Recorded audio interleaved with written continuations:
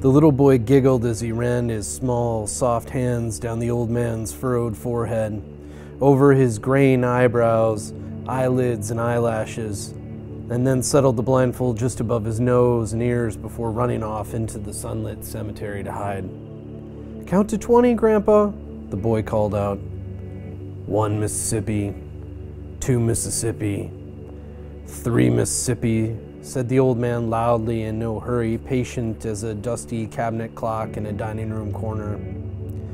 The sound of laughter receded. Lyle Hovde continued slowly counting. Pressed against his brow and eyelids, Lyle's red faded cotton handkerchief smelled of his worn Wrangler blue jeans diesel, gasoline, sawdust, the golden butterscotch candy he favored, and the metallic tang of loose pocket change. Before six, he heard the boys breathing, his little footsteps growing fainter, the occasional crunch of a pine cone or fallen white pine branch under a sneaker, the squeak of long vernal grass in thick shadow, and giggling. By twelve, there was just the sound of a crow caw caw cawing in the crown of a pine. At 17, he felt his heartbeat slowing. The April sunlight warming his face felt good, his old barn jacket a comfort like a tucked in bed blanket. There was the desire to simply nod off, fall into the soft black sea of sleep.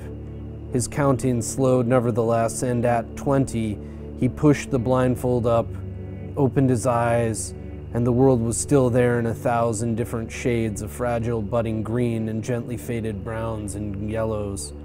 There was no traffic on Cemetery Road, not a single car, no tractors tilling. In the sky, two sandhill cranes descended toward a far off pond.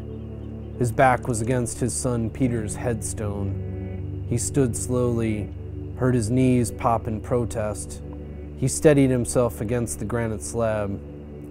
Ready or not, he hollered, Here I come.